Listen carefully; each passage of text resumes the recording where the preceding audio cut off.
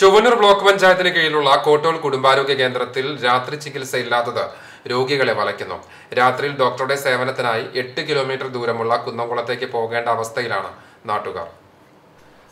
മുൻപുണ്ടായിരുന്ന രാത്രി ചികിത്സ പിന്നീട് നിർത്തിവെക്കുകയായിരുന്നു. കഴിഞ്ഞ മാസം സാമൂഹികാരോഗ്യ കേന്ദ്രത്തെ ബ്ലോക്ക് കുടുംബാരോഗ്യ കേന്ദ്രമാക്കി ഉയർത്തിയിരുന്നു. ഇതോടെ ആശുപത്രിയിൽ സൗകര്യങ്ങളും വർദ്ധിക്കുമെന്ന പ്രതീക്ഷയിലായിരുന്നു നാട്ടുകാർ.